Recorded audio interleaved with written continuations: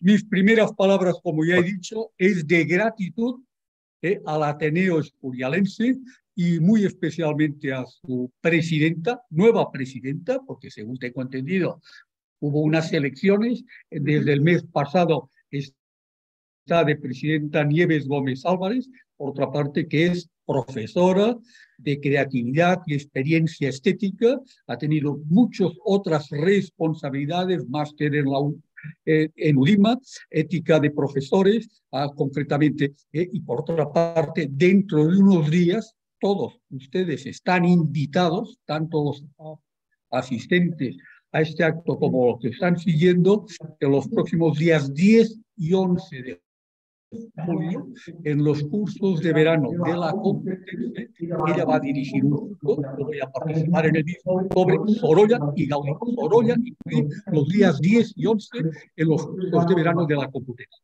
Nos acompañan en este acto dos grandes personajes, como es José Antonio Bordallo, embajador, diplomático, eh, y que por otra parte ha estado de embajador de España defendiendo la presencia española en, en la República Democrática del Congo, ha estado en el Paraguay, ha estado también de embajador en el Sultanato de Oman y por otra parte ha tenido cargos muy destacados, entre ellos director de la Real Academia de España en Roma y también gerente del Consejo de Administración del Patrimonio Nacional. Pocos conocemos en profundidad la riqueza del patrimonio nacional y él, obviamente José Antonio, ha sido eh, gerente del patrimonio. Por tanto, mi gratitud a él eh, por haber eh, profundizado en el libro Vejez Activa y por otra parte por estar aquí con nosotros, que sin lugar a dudas lo que va a decir a todos nos va a enriquecer. También nos acompaña un viejo amigo, viejo no solamente por los años, pero gana todo, pero está mejor que todo, como el Francisco Rico Eres, eh, él es alicantino, doctor en Derecho, premio extraordinario, autor de más de 25 libros, eh, un hombre enamorado del Escorial, lleva no sé cuántos veranos disfrutando eh, de, esta, de este clima, de este paisaje, de esta humanidad que todos los de ¿eh? los escurialenses ¿eh? disfrutan y tienen, y por otra parte, pues él es una de las personas que colaboró activamente en este libro. Yo después de las intervenciones de los dos grandes ponentes que nos acompañan, ¿eh? les haré a todos una aproximación a este libro porque promoví el escribir este libro, cuáles son los objetivos y por otra parte lo que espero de aquellas personas que lo puedan leer, que sin lugar a dudas, seguro que van a disfrutar, disfrutar, y la palabra disfrutar la destaco, de una vejez activa, que es lo que todos tenemos que intentar realizar. Adelante, José Antonio, con tu intervención.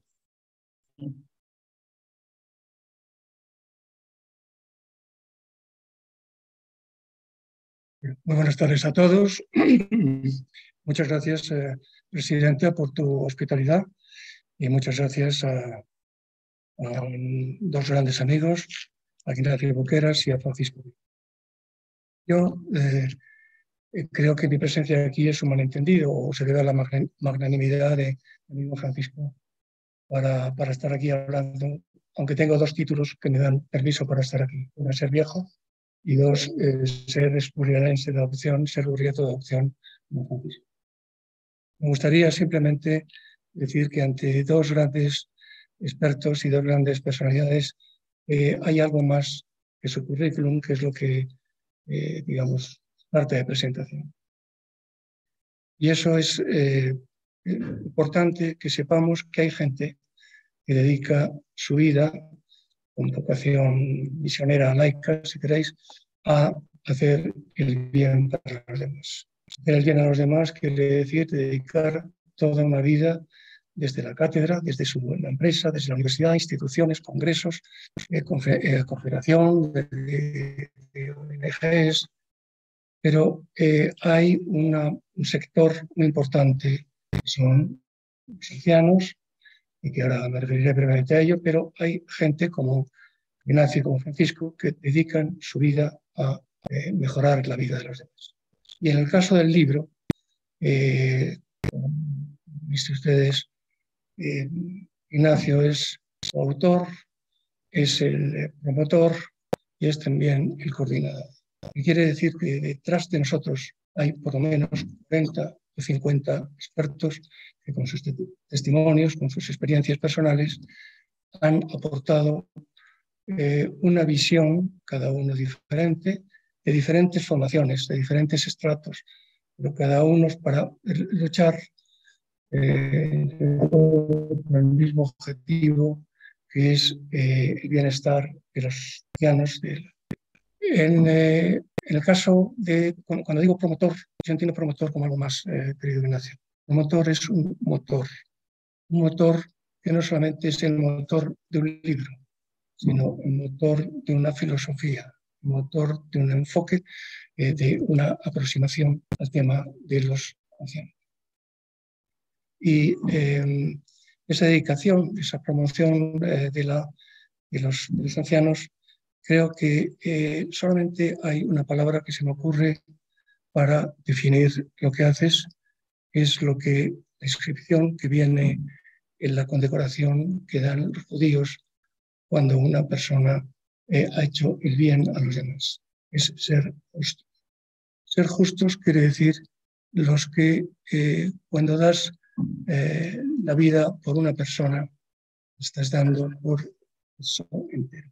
Si dedicáis con vuestro cariño, con vuestra dedicación y dedicáis la vida a los demás, merecéis el reconocimiento como mínimo de ser unas personas justas. En el caso de Francisco, yo quiero decir primero que fue mi profesor, luego que ha sido mi maestro, es mi maestro, es un hombre, como ya se ha dicho, eh, nonagenario, deportista, mucho más atleta y más que nosotros, por supuesto, y que eh, eh, tiene para mí tres características fundamentales. Es un hombre sabio, un hombre sabio sentido del renacimiento, un hombre que maneja todos los campos con sabiduría, es un hombre que tiene una eh, dedicación eh, personal, sobre todo a la gente necesitada, a la gente enferma. Tiene 25 libros, como se ha dicho también, dos de ellos, uno de ellos dedicado a los enfermos de Alzheimer y otro dedicado a los enfermos de Parkinson. Y luego, una tercera característica, Francisco es un soñador como lo era Don Quijote. Es un Don Quijote que lucha por causas nobles benéficas, imposibles, pero que al final eh, eh, la mera justificación de ese sueño. Él tiene un sueño aquí precisamente en el Escorial, los dos tienen un sueño aquí en el Escorial, que es la construcción de un hospital de Alzheimer en la casa de los padres eh, de los Sagrados Corazones y seguro que algún día podrá conseguir. Así que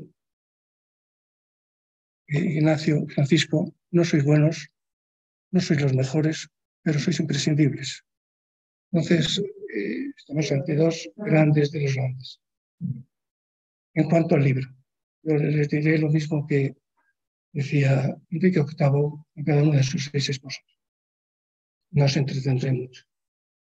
Lo que voy eh, a decir del libro es lo que yo he sacado de estas experiencias de 40 o 50 personas y que mm, me parece primero que es un libro útil y un libro oportuno.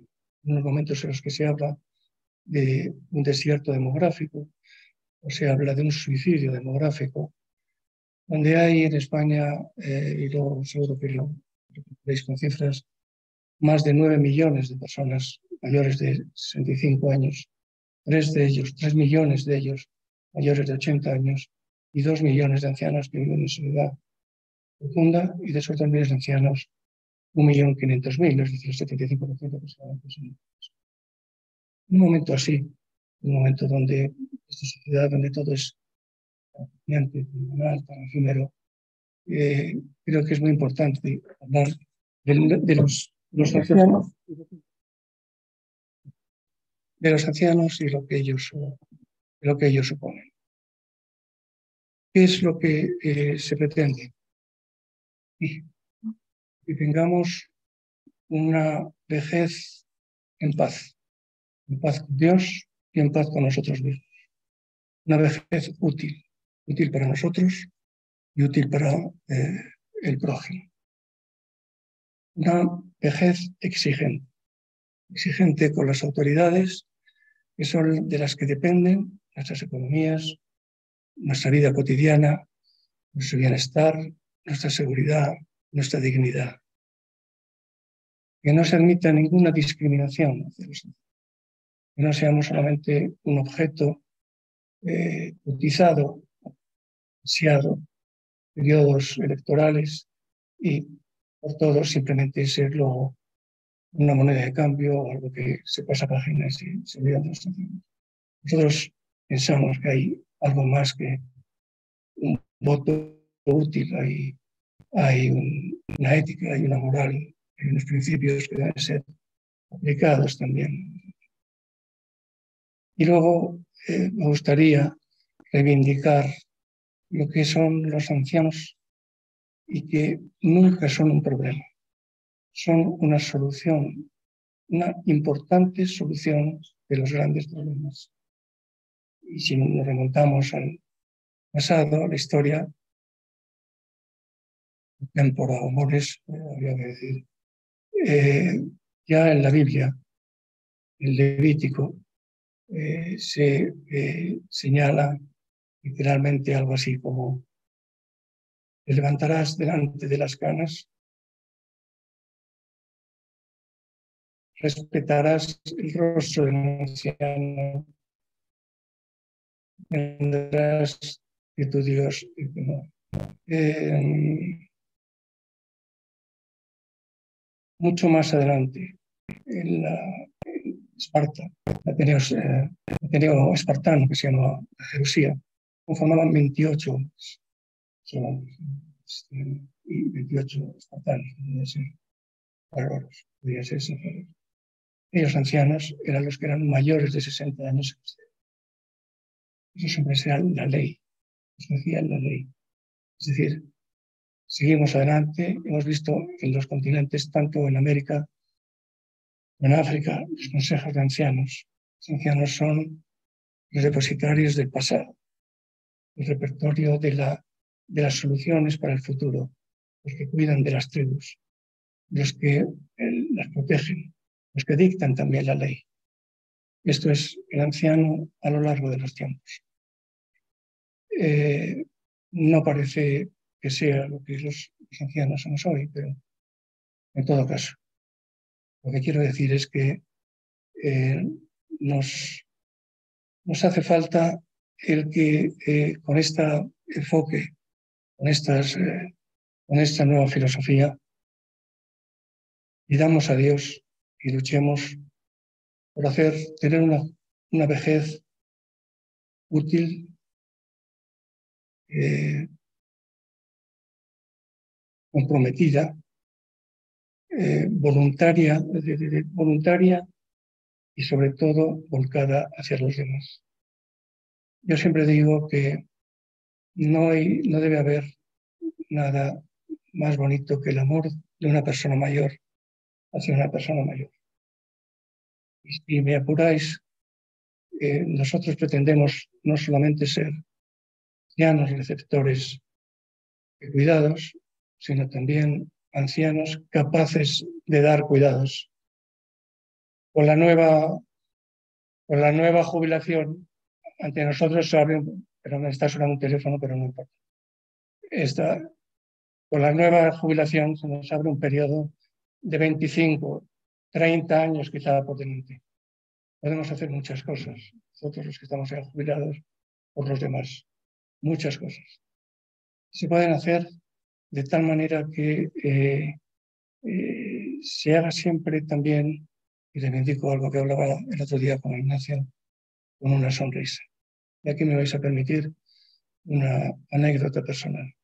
Como se ha señalado, mi embajador en Congo, el destino destinos mucho más del circuito Indiana Jones que el circuito Christian Dior. Eh, destinos, el destino del Congo fue el destino más enriquecedor desde el punto de vista humano y desde el punto de vista profesional. Allí conocí a verdaderos embajadores, los embajadores los y que aquí tenemos en el Escorial varios de ellos, los Sagrados Corazones, de los Concepcionistas, desde Vedruna, y que eh, en aquellos cinco años de guerra que me tocó vivir única y exclusivamente rodeada de geos, cuya misión era proteger la vida de estos sacerdotes y religiosas, aprendí una cosa fundamental. Cuando estábamos haciendo una evacuación, no recordar que fue una concepcionista mayor, que le dijo, embajador, nosotros salvamos vidas con una sonrisa. Yo lo, entendí inmediatamente. Entendí que esas personas pobres, pobres no, miserables, más pobres de la tierra, es son eh, abandonados, sin futuro, sin presente, futuro es peor todavía. Simplemente eh, sobreviviendo con una edad media de vida esperada de la esperanza de vida, quiero decir, de apenas dos años, viviendo toda clase de monstruosidades a lo largo de esos 42 años, saber que cuando una persona blanca está a tu lado, pudiendo salvar su vida, yo iba a ofrecerle a los que para subir a, por unos viajes en, en jeep, subir a los helicópteros y ser salvadas, eh, no se movían. ¿Qué quiere decir eso? Que ellas compartían su vida. Y para ellas, estas personas, para estos embajadores de Dios, ellos eran no solamente seres humanos, sino eran su más querido y más importante. Conclusión. Eh, no creo que haya ningún anciano que no sepa apericiar, que no sepa acompañar, que no sepa consolar y que no sepa sonreír. Entonces, creo que esta vejez nuestra, cuando nos corresponda llegar a la edad de, de Francisco, seamos capaces de no solamente dar, gracias por lo, que, por lo que ha sido nuestra vida, sino que también sepamos sepamos eh, saber que tenemos algo aprovechable, siempre hay algo aprovechable para los demás. Como decía antes, que esa vejez sea no solamente una vejez paz con nosotros mismos y tranquila, y, sino una vejez, una vejez vocacional y sobre todo, aunque solamente fuera por puro egoísmo, eh, dice San Juan de la Cruz, al atardecer seremos juzgados en el amor.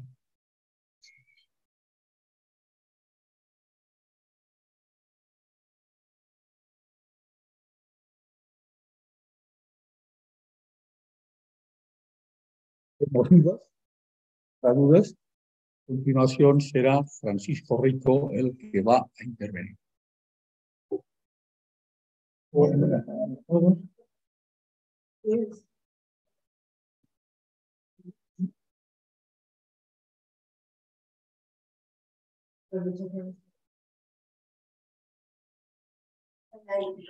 Ahora sí. Ahora, ahora, ahora ya. A veces tocar un botón. Las nuevas tecnologías. Adelante, adelante. Buenas tardes a todos, también con emoción y desde el corazón a los que nos ven a través de las nuevas tecnologías, aunque aún no pueda fallar un momento, de deciros que uno no es solo de donde nace, sino también de donde desea llegar. Y llegar al Escorial para mí es una emoción tremenda, porque aquí, en el Escorial,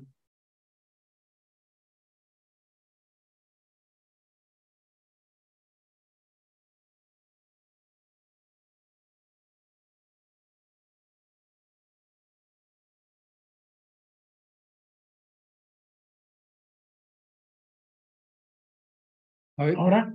Ahora. Ahora. Muchísimas gracias. Bueno, perdón por este paréntesis, que el técnico lo ha resuelto maravillosamente. Gracias. Mm, y decía que es naturalmente muy emocionante para mí esta tarde también, porque es una llegada más y también acompañado y recibido por una gentil dama, Nieves Gómez, que es toda inteligencia y bondad.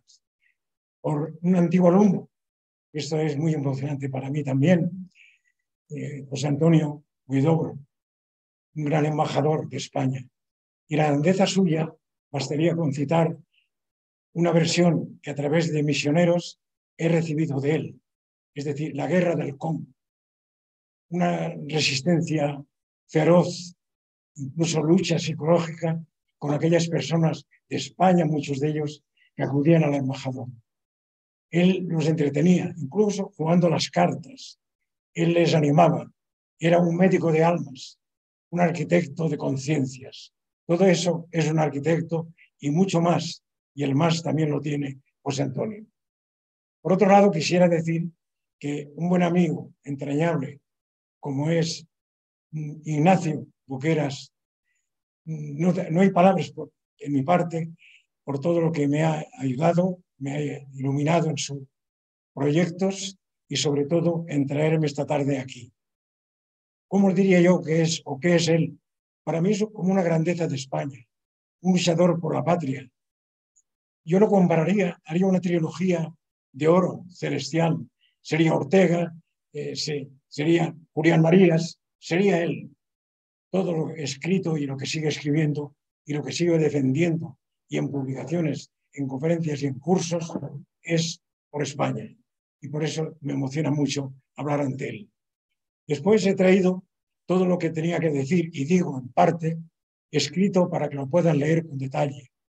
De esa parte lo que más me interesa es lo que puede interesarles a ustedes, que es cómo se atiende a un enfermo y un enfermo de Alzheimer. ¿Qué es lo que pasa aquí?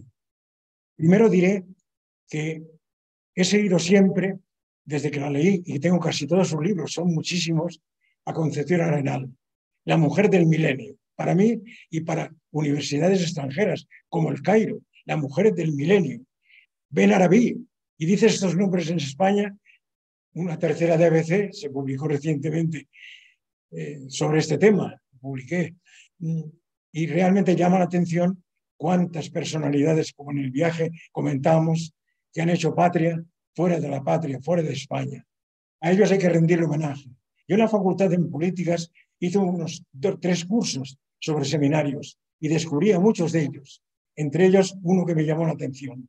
Fui porque me nombraron miembro de Henry Capitán en la Universidad de París y cuando terminé la charla breve sobre lo que estaba haciendo y proyectaba en esa asociación, cuál era mi humilde trabajo, se me acercó una figura eminente del derecho, Henry Masson. Era no él el que hablaba sobre mí, sino iba a hablarme de otra persona que era tío suyo, antecedente de un tío suyo. Y era un ingeniero, un ingeniero que había trabajado con Eiffel. Y me contó una historia alucinante, pero que después todo lo que él me dijo lo pude comprobar. Lo comprobé en la Academia de Ciencias de París, lo comprobé después en el Ateneo, eh, grandiosa biblioteca, con las cosas que allí se referían. No las encontré algunas de ellas en la Biblioteca Nacional, es curioso, pero estaban en el Ateneo. Y este, esta persona, que la ven ustedes en fotografía también, en lo que he traído, naturalmente, eh, hizo una labor extraordinaria como ingeniero y arquitecto, hasta tal punto que ganó el cuarto premio, del el, cuarto centenario del descubrimiento de América. Hizo una esfera tremenda, eh, eh, enorme, mucho más que la Torre Eiffel. Bueno, ahí ven ustedes las medidas, que espanta. Y nadie, nadie, cuando yo preguntaba por él, nadie me daba referencias. Yo quería regalar a un universitario de la Politécnica, de las escuelas de, arquitectura, quería regalarles, o de arte, una tesis doctoral, y no encontraba destinatario. Se creía que estaba soñando yo con Alberto de Palacio. De Palacio, después, pasando el tiempo y leyendo hasta un libro tengo sobre él, tiene la estación de Atocha, tiene el puente colgante de las arenas, impresionante, puente de Vizcaya, hay que rendir homenaje a don Juan eh, el rey se interesó porque estaba bastante deteriorado y se arregló, es impresionante, fue a inaugurarlo su majestad. Y también hay que recordar el, el Palacio de Cristal, el Banco de España. Bueno, corto aquí, porque lo que quiero decir es que yo le remitía a lo que allí me decía la, la, la, ciencia francesa, que era que mirar el Espasa. Pero cuando llegué al Espasa me quedé más alucinado todavía. Porque ¿qué dice el Espasa, Espasa de Alberto de Palacio? Pues dice que era el mejor arquitecto e ingeniero del mundo y lo comparaba superior a los americanos que por aquel entonces eran los mejores que había. Bueno, yo realmente me emociona decir que aquí en el Escorial he querido levantar eso, levantar esa torre. Bueno, no es que yo lo diga, es Emilio Castelar. Se enamoró del tema y publicó en la revista de Hispanoamérica y en dos de ellas publicó unos artículos impresionantes y dijo una frase que es la que quiero repetir. Esto es una idea genial, es una idea y como tal idea es sagrada y se hará. ¿Qué pedía él? Una sierra. Citó la sierra de Madrid, citó la sierra de Salinas, porque allí Emilio Castelar, en aquella zona de Levante, pasó sus mejores días, etcétera, etcétera. Eso por un lado. Por otro, hay otro proyecto que me enamora, y con esto pasaré después a lo que es lo importante para ustedes, que es la ciudad de Alzheimer. ¿Quién recibe una finca de 9.000 metros cuadrados en donación con una condición? Levanta aquí una ciudad para los enfermos de Alzheimer. ¿Saben quién? Eh, ¿O quién es mejor? Los padres de los Sagrados Corazones. Una finca preciosa. La huerta le llamaban ellos. Allí se cogía fruto para todo el año, pero ahora está abandonada al lado mismo de la Casa San José y allí pueden ustedes visitarla. Bueno, allí vino también el padre Santiago Canteras, el prior del Valle, a bendecir el árbol donde damos la clase porque han sido casi 30 años los veranos, agosto, agosto y julio, julio y agosto, los que he pasado con ellos. Cuánto he aprendido, cuántas cosas, en muchos países. Tenía una terapia muy sencilla, que era que leyeran un día la prensa, me encontraran una nota buena, una noticia buena, y sobre todo si era un país donde ellos habían estado.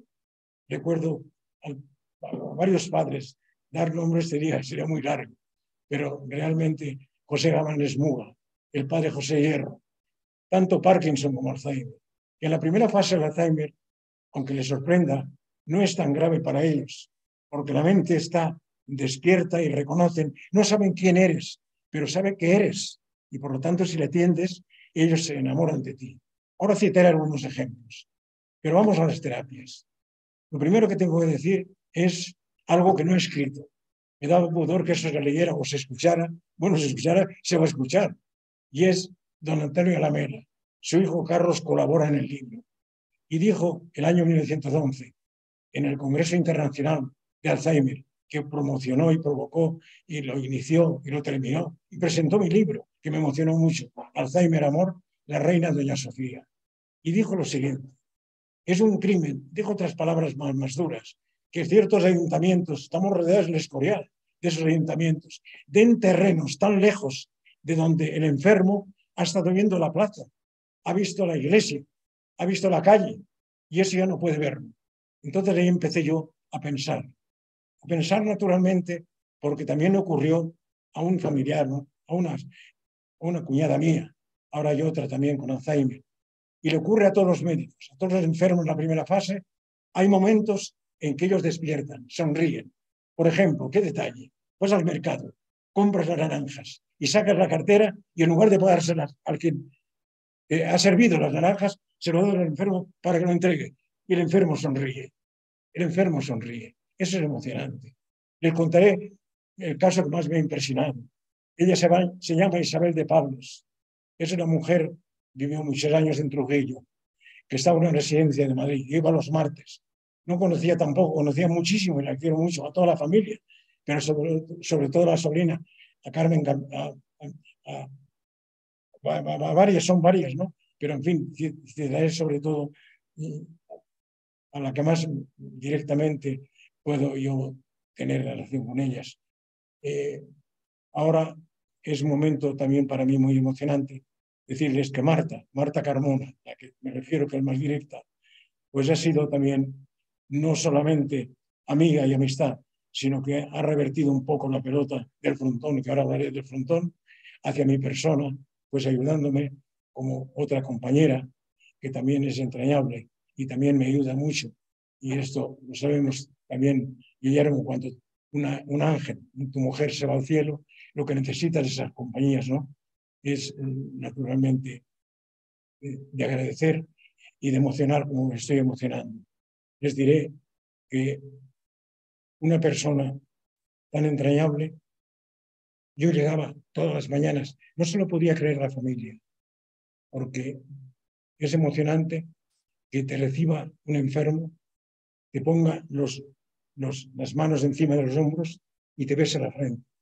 Yo había estado unos días con ella nada más, unos días nada más, muy poco tiempo, pero no sé por qué, si le sonreí o ella me dijo Trujillo, yo le hablé mucho de Trujillo, le hablaba tanto de Trujillo que incluso con la silla de ruedas le decía, vamos a Trujillo, vamos a pasear. Iba mentalmente diciéndole pueblos o ciudades donde pasaban, algunas que me acordaban, y aquello era emocionante. Eso era un intervalo lúcido. Eso. Yo no, lo he bautizado.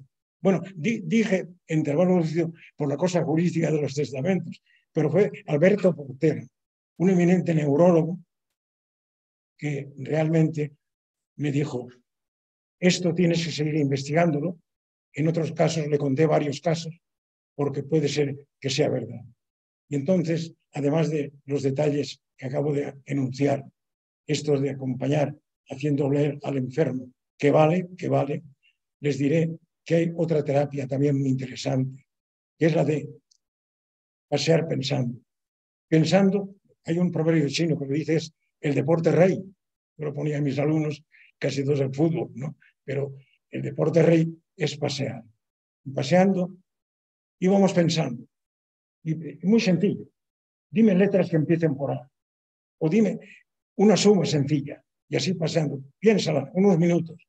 Y paseando, paseando, se mataban dos pájaros de un tiro. La mente por un lado, naturalmente, y por otro, la ayuda al cuerpo para poder pasear. Esto es muy emocionante también lo que voy a contarles, y es la ayuda de la familia en relación a los enfermos de Alzheimer, la experiencia.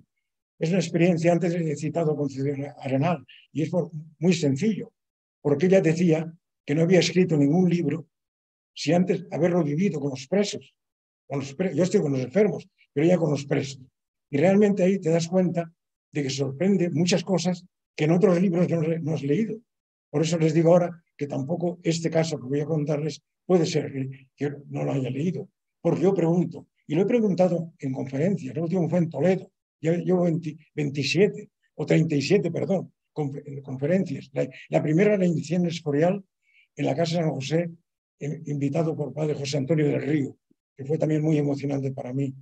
Y pensando en esa experiencia, se me ocurre también escribir y pensar sobre otro tipo de terapia.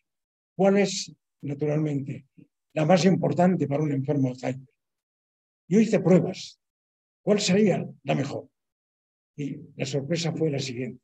Es tan, tan sorpresa porque entre el público, y aquí lo hay también, afortunadamente, y doy las gracias por asistir, entre el público y entre médicos también, que me ocurrió en Soria y me ocurrió en Barcelona, no, no contestaban. Diga usted una. Contestaban algunas, claro, pero no la que yo había experimentado modestamente, que esta la bendijo pues al maestro de neurólogos, que es Alberto Portera, que es la siguiente. ¿Ustedes piensan alguno que quiera levantar la mano y decirla? Pues muy sencilla. Proclamar la enfermedad. Si tú proclamas la enfermedad, y eso lo verán en el libro, porque después le voy a regalar el libro a todos, Tú estás jugando en un frontón. Tú estás tirando la pelota a la pared, que es el enfermo. Pero la pelota viene a ti, que eres el cuidador. Por eso le llamo frontón, ¿no? Y eso está mejorando a todos. De talmente que si eso se empleara, por ejemplo, el barrio de Salamanca, que yo lo he pateado, he pateado tres para saber la, estadística, no encuentras a un cuidador español con un enfermo de Alzheimer. Encontré a uno a una rumana, que Dios bendiga, porque todas esas personas que nos ayudan de Hispanoamérica, de Rumanía, etcétera, debemos de tenerlas en un monumento. Yo pido un monumento para todas esas personas, porque la enfermedad de Alzheimer es durísima. Ya que digo durísimo, diré también que la familia tiene que rendirse llegado un momento. Y el momento de rendirse, de lo contrario, la estadística es atroz, ahora la, citaré. Va, va, va, muerto antes el cuidador. El que queremos cuidar al cuidador va antes. ¿Cuándo? Cuando empiezan las manías, las repeticiones, no dejar dormir. Me he autorizado a decir el nombre. Diré, bueno, como me he autorizado, hasta lo digo. Tenía, tiene, 13 hijos tiene. La mayor ha sido alcaldesa de Madrid. Y entonces mm, Ana me decía, ¿cuánto sufrimos cuando no tomamos la decisión que tú aconsejabas y no podíamos con ella? Es decir, la familia no podía cumplir el, el consejo, que era llevarle y cuidarle, traerle por lo menos cuidadores que hay en casa y ellos apartarse, porque de lo contrario le hacen daño al enfermo. Pero qué duro es, como ella, a la una de la mañana, ¿Sabes el nombre de los trece hijos? A la hora, a las seis o a los tres. ¿Sabes el nombre del orden de aparecer, de cuándo nacieron primero? Y así. Eso solamente, solamente un caso real. Pero otros casos son tremendos, porque han habido cuchillos por el aire, ha habido eh, eh, insultos, ha habido decir, ¿qué tal la querida? Constantemente. Y has dormido bien con ella. Es decir, esto es atroz para un cuidador. Bueno, pues yo les aconsejo a quien ustedes conozcan y a quien me escuche o me oiga ahora por la, nueva tecnología que es el ordenador, que ustedes, por favor, aconsejen llevarle fuera de la familia, fuera del cuidador. Yo no sé qué decirles más, porque ahora en los coloquios pueden surgir cosas más interesantes que a ustedes se les ocurran, porque todo lo que a mí me ha servido para hacer este, esta pequeña introducción está con mucho detalle en el, en el escrito que, he repartido. Y, creo que con esto pues es, es suficiente, es suficiente por mi parte. Les agradezco mucho su atención, su presencia y sobre todo que tengan mucho, mucha paciencia si algún conocido o algún familiar está enfermo de Alzheimer piensen que se trata de lo que no debe de tratarse, como lo tratan, es un muñeco, es un ser indefenso. Dios les bendiga y bendiga a sus familias.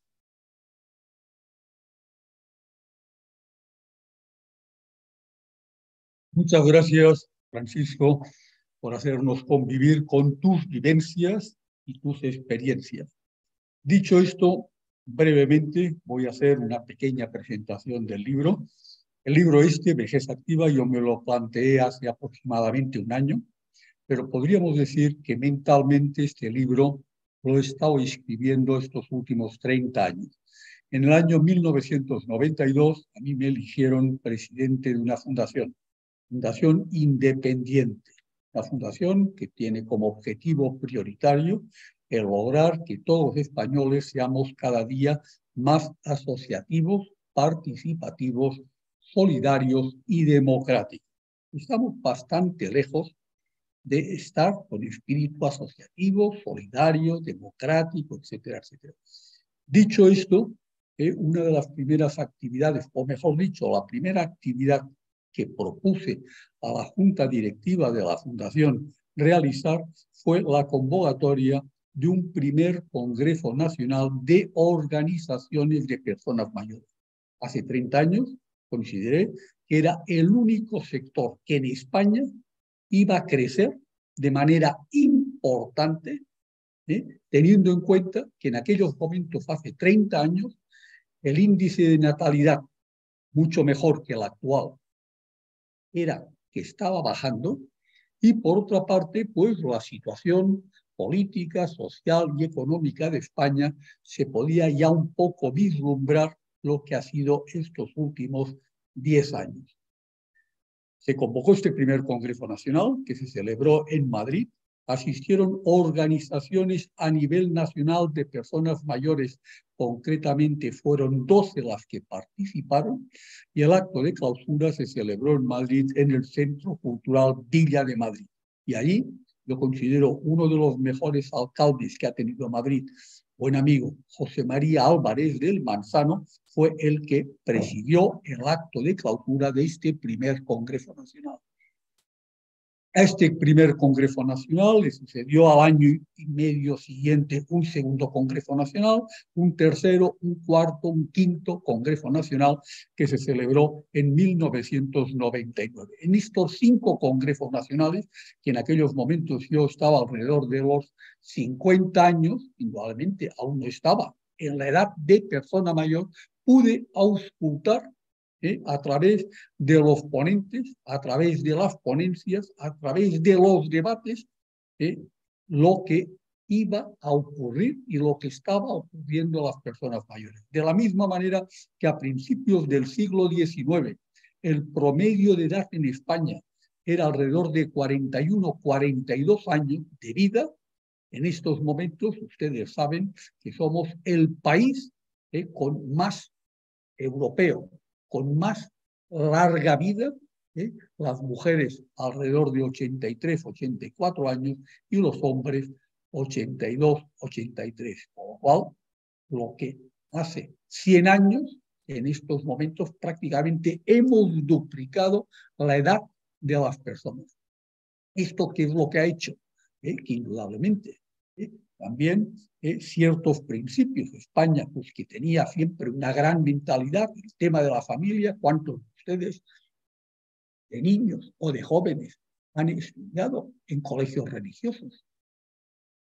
Porcentaje bastante elevado. En cambio, en estos momentos, España, somos líderes europeos en baja natalidad, líderes europeos en separaciones matrimoniales y líderes europeos en fracaso escolar. Tres temas que yo considero que marcan no solamente un presente, sino marcan sobre todo un futuro de España francamente muy preocupante. Bueno, entonces esto hizo eh, que concretamente la experiencia de estos cinco congresos nacionales, fruto de ellos fue, por ejemplo, la creación del Día de los Abuelos, recuerdo eh, que una de las personas que estuvo colaborando en estos cinco congresos fue, muchos de ustedes le conocen, o por lo menos saben quién es, el padre Ángel Mensajeros para ¿eh? Nosotros en el año 1995 tomamos el acuerdo de la celebración a nivel nacional del Día de los Abuelos, el Día de las Abuelas. En estos momentos son ya 24 los países del mundo que se está celebrando el Día de los Abuelos, 26 de julio, lo tenemos relativamente cerca, la festividad de San Joaquín y Santana.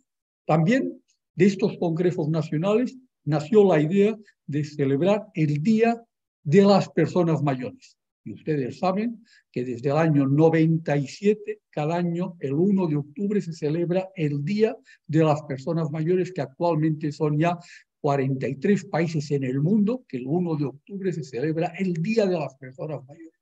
Otro fruto de estos congresos nacionales, que yo los viví muy en primera persona, teniendo en cuenta que indudablemente la Fundación hacía otras actividades. ¿eh? Pero concretamente esta fue un poco una prioritaria. Yo fui el presidente de estos cinco congresos nacionales, que por otra parte, eh, la presidenta de honor fue la condesa de Barcelona, la madre del rey, hasta que ella falleció. Y recuerdo que en una reunión con el rey Juan Carlos adoptamos que a partir del fallecimiento de su madre, los reyes de España serían los presidentes de honor de estos cinco congresos nacionales que yo tuve la satisfacción de presidir y que por otra parte han ido continuando.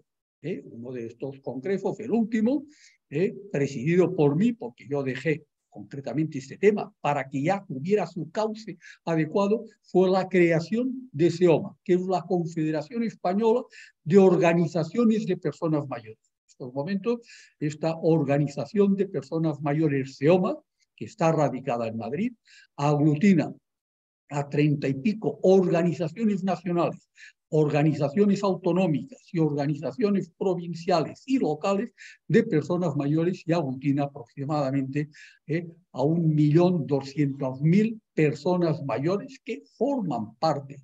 Por ejemplo, eh, el pasado mes de mes de marzo se celebró en Barcelona el onceavo Congreso Nacional de Organizaciones de Mayores, en el que yo tuve la satisfacción de presentar el libro Vejez Activa. ¿eh? Por tanto, ¿eh? si yo he escrito, mejor dicho, he promovido, he coordinado y soy coautor de este libro es porque ha habido una experiencia importante en el sector de las personas mayores. Cuando yo me planteé el libro, aparte de esta experiencia acumulada que se refleja en el libro con datos y cifras de estos congresos nacionales, incluso también la convocatoria, a lo mejor alguno de ustedes ha participado, ¿eh? desde el año 94, cada año se celebra el concurso nacional, háblame de tu abuelo, háblame de tu abuela, háblame de tu nieto, háblame de tu nieta, para que los abuelos hablen de los nietos y los nietos hablen de los abuelos. Esto es importante, esta interrelación familiar, etcétera, etcétera. Bueno, pues todo esto está reflejado en el libro. Entonces, cuando yo me planteé escribir el libro, tuve una doble disyuntiva, es decir, por la experiencia acumulada en estos años, ¿eh? en estos congresos nacionales, todos los ponentes, etcétera, etcétera, tengo la posibilidad, tengo datos suficientes a lo mejor para escribir yo el libro. Pero creo que es mucho mejor para la sociedad lograr que personas que han participado en este libro, en este libro, escriban cada uno de ellos porque es especialista de algo que puede enriquecer a la sociedad española en general.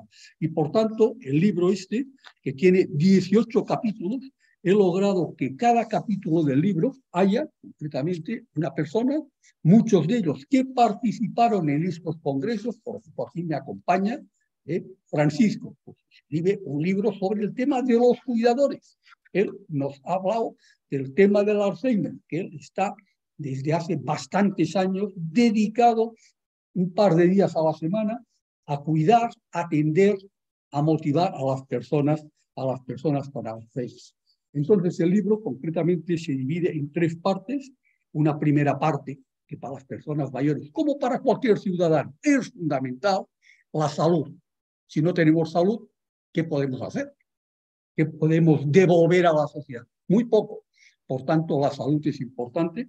Entonces, el primer grupo de capítulos, el tema de la salud, y aquí busqué concretamente a seis personas por una parte, uno que nos aportara datos demográficos actuales, es decir, qué pasa en España, cuántos son las personas mayores en estos momentos, eh, cuántos más de 80 años, etcétera, etcétera, y por dónde van los conductos. Antes, eh, José Antonio ha hecho una aproximación y ha dado unos cuantos números de esto. Entonces, busqué un sociólogo, un demógrafo, ¿eh? como es el que ha sido muchos años rector de la Universidad Complutense de Madrid, el profesor Rafael Puyol, para que escribiera, en estos momentos él es el, rector de la Universidad Iridia, etcétera, etcétera. El tema de las personas mayores, otro tema fundamental. Cada día todos algo tenemos que comer, poco o mucho. ¿eh? Si en este país hay una persona ¿eh? que en el tema gastronómico es una cierta eminencia, es Rafael Anzón, ¿eh? creador de la Real Academia de Gastronomía, etcétera, etcétera. Bueno, entonces hay un capítulo sobre el tema de la alimentación para que todos nos oriente lo más conveniente, lo más saludable, etcétera, etcétera. Si hay un tema importante dentro de un par de horas o tres horas, todos ustedes estarán, empezando por mí mismo, la cama, durmiendo. El tema del sueño, importante. ¿eh? No simplemente estar en la cama X horas, sino concretamente un sueño intenso, no de preocupaciones, no un sueño, ¿eh? etcétera, etcétera. ¿eh? Por tanto, a quien busque. Concretamente, en España hay unas clínicas del sueño que es el doctor Estivil y su hija, Laura, les invité a escribir un artículo sobre el tema del sueño. Otro tema importante, no todo el mundo está decidido a ir a una residencia.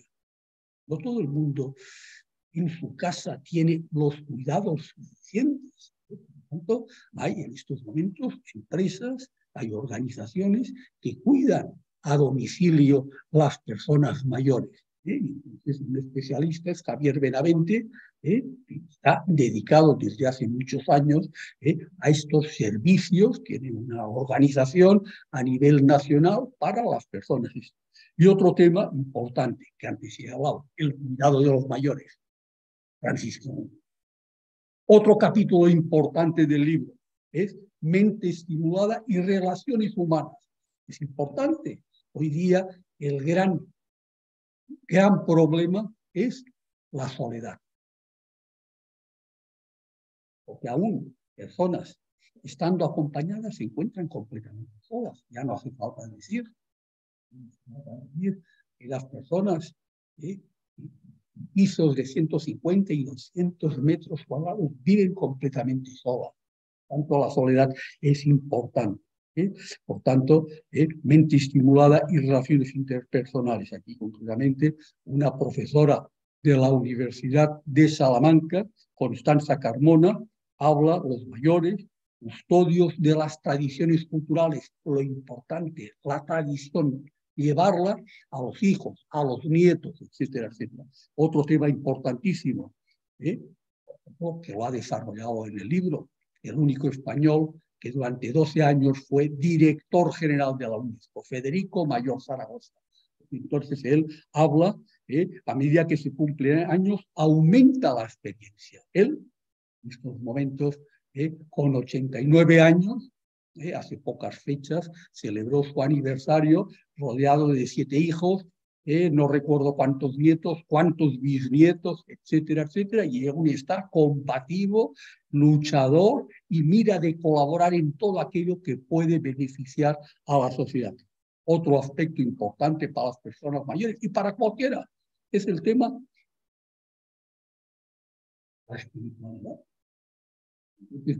otro buen amigo cardenal amigo, cardenal emérito de Sevilla, que hace pocos meses falleció, pero me mandó su capítulo concretamente hablando conservar una permanente actitud positiva. Y finalmente, hoy día que estamos acostumbrados a que los políticos y muchos nos mienten continuamente, y creo que tenemos que estar todos en defensa de la verdad, ¿eh? Hay un magnífico libro de otro buen amigo, Antonio Garrigues Walker, que escribe ¿eh? la importancia de la verdad, que a veces no nos damos cuenta y estamos para tragarlo todo. Y hay que decir, basta ¿eh? con el mundo de la mentira, que una mentira se come a otra, etcétera, etcétera. La importancia de la verdad y las personas mayores tendríamos que ser muy especialmente, ya no nos tenemos que morder la lengua tenemos que ser concretamente comunicadores de aquellos temas importantes que puedan ser utilizados.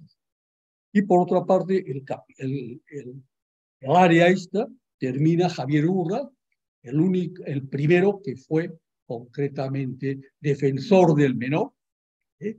¿Eh? Entonces él habla una etapa de paz y serenidad, etapa de paz y serenidad escrita por Javier Urra.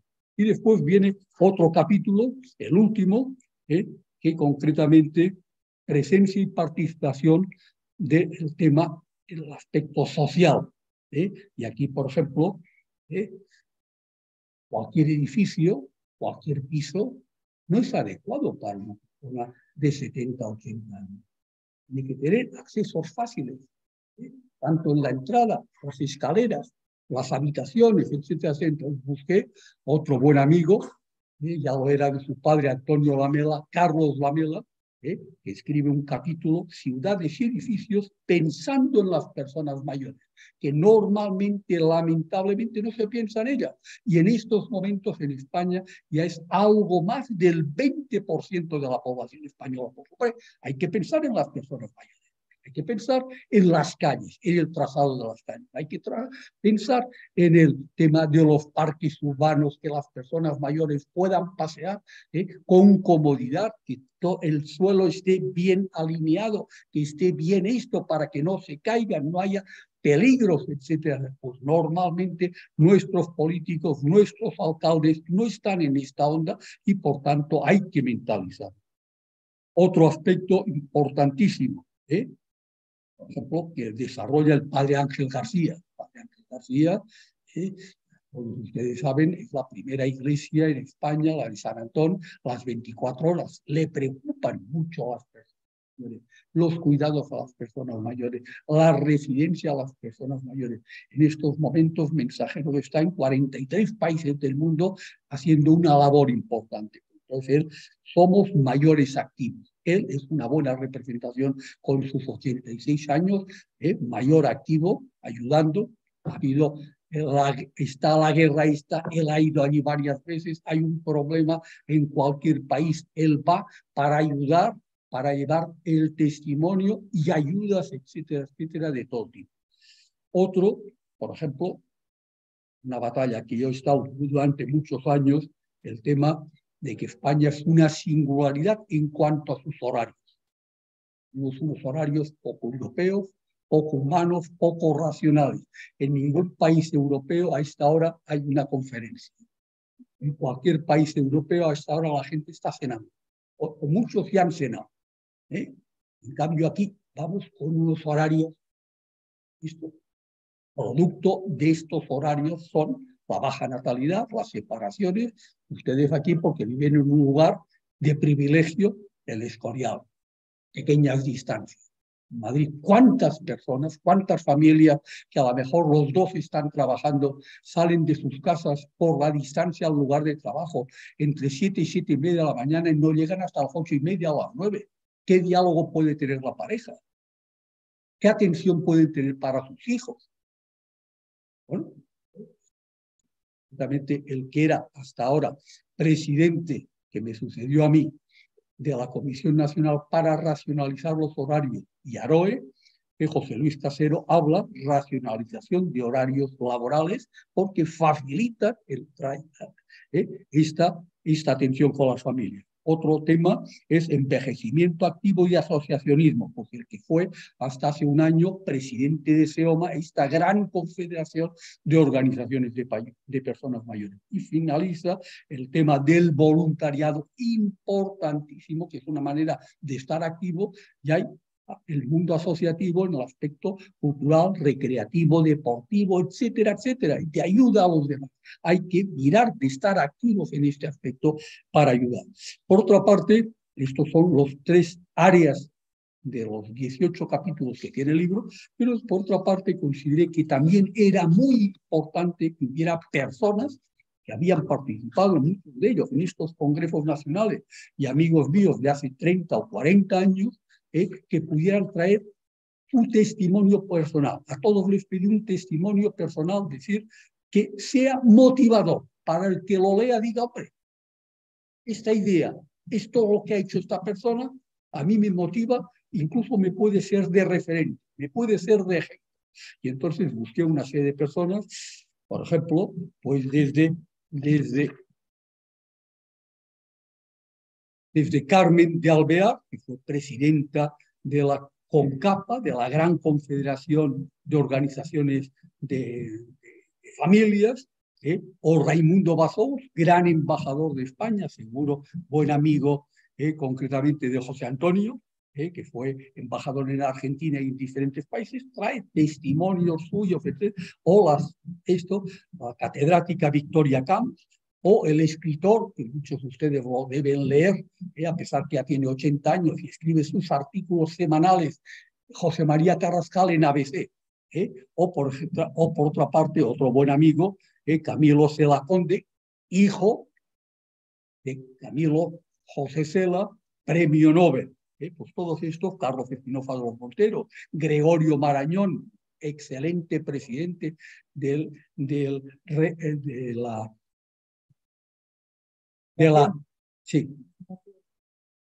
bueno, de la Ortega Marañón, pero por otra parte yo le citaba fundamentalmente del Teatro Real, ¿eh? presidente de la Fundación del Teatro Real, o por otra parte, por ejemplo, Federico Mayor Zaragoza, que antes he mencionado, o por otra parte, Carmen Posadas, escritora, ¿eh? Eh, etcétera, etcétera. o Pedro Ruiz, que todos ustedes habrán participado o habrán asistido a alguno de sus, podríamos decir, eh, no digo obras teatrales, sino concretamente que hace sonreír a todos, o Salvador Sánchez Terán. Bueno, en una palabra, en el libro hay estos testimonios que estoy seguro que a todos nos pueden motivar y a todos nos pueden ser de, de singular importancia.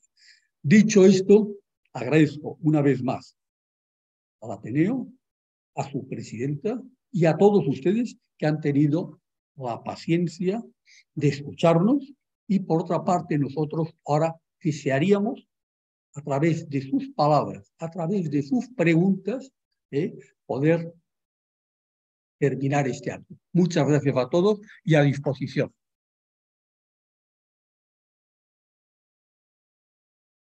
¿Quién abre el fuego? Bueno, ya veo inmediatamente una mano levantada.